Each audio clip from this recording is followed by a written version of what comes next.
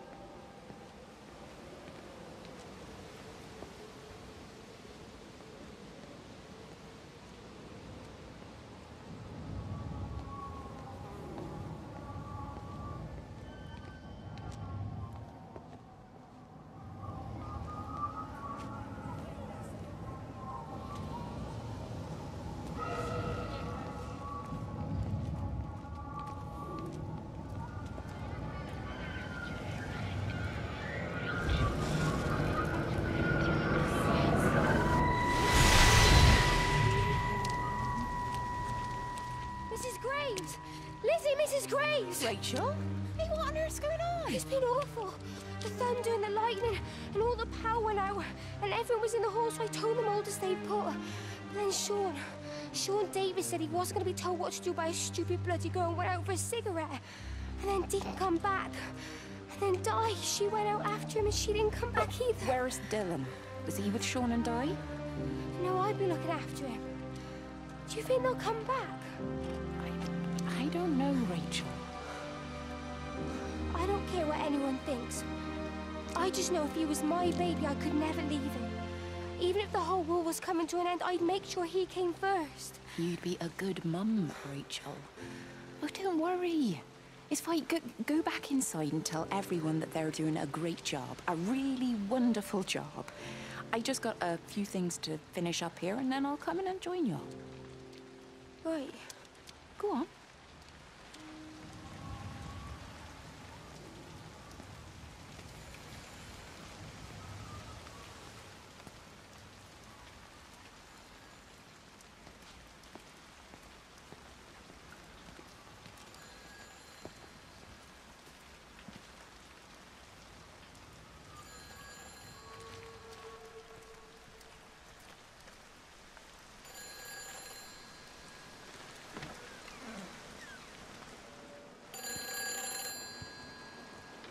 You can't save them.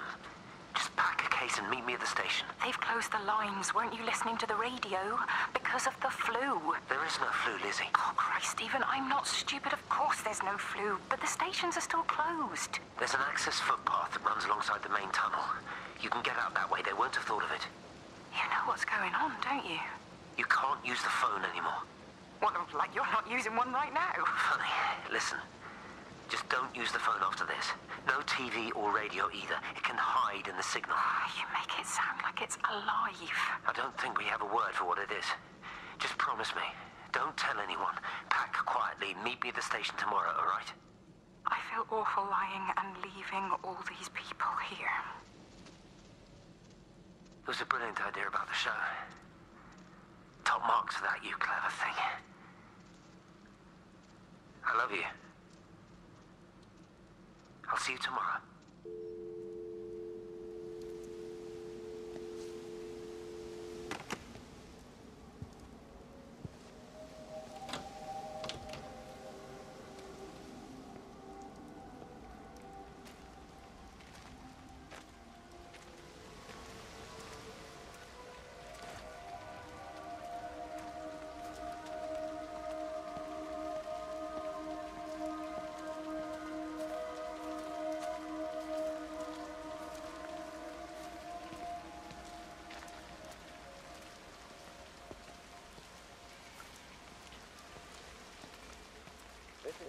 Service